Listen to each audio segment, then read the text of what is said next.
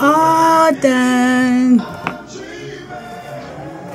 Okay, so here it is. All applied. But looks like my curls are dropping.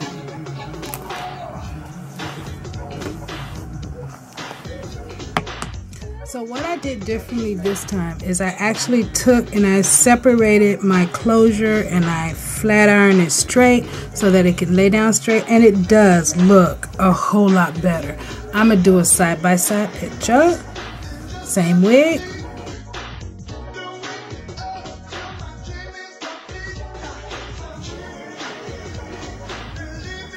Yeah.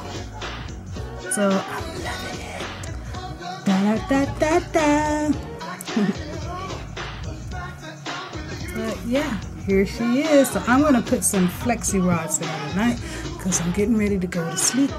And I'll show you what it looks like in the morning.